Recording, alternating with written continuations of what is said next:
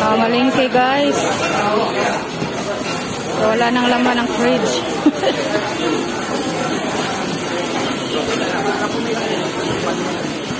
Yan ba itong ano? Itong uh, pusit nila guys.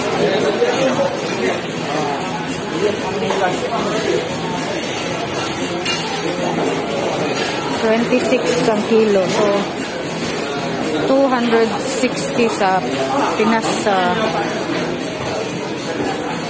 kung sa Pinas pa 260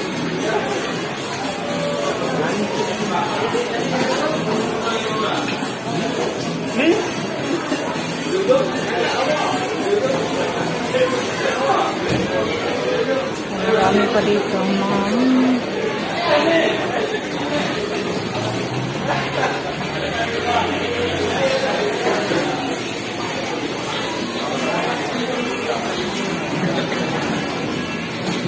hmm. Pagaso.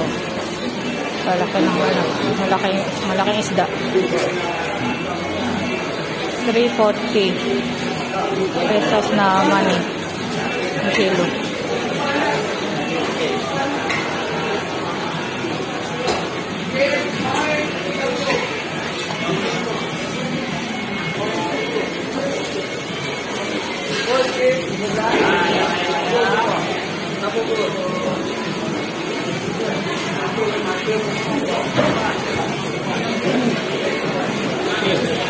Okay. One a half. The cheap. Yeah. Uh, 66. 66. Yeah. 55. Okay, thank you.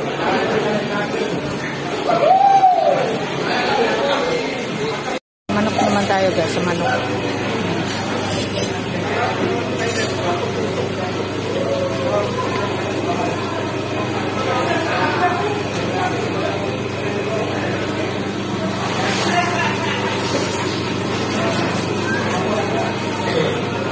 Nihiwa ni, ni kuya yung ano, manok.